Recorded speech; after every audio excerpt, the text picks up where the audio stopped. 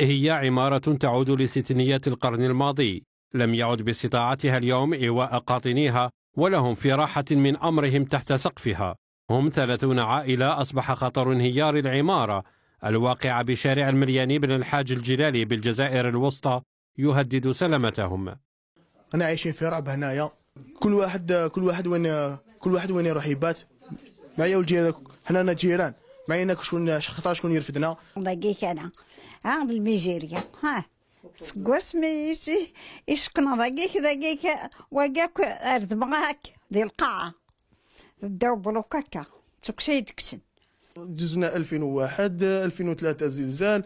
تجوزنا كاع الأمور. ربي راه ساطرنا. ماذا بينا؟ يشوفوا لينا نظرة.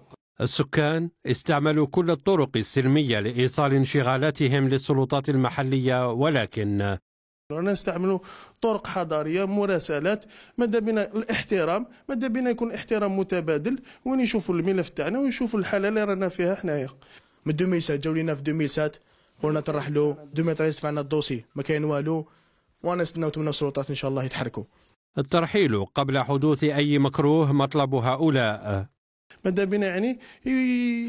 يعجلوا بالترحيل تاعنا. رانا بكل احترام وبكل رزانة هذا أمور قانونية. ماذا بنا يديروا؟ رد الاعتبار للطرق الإدارية.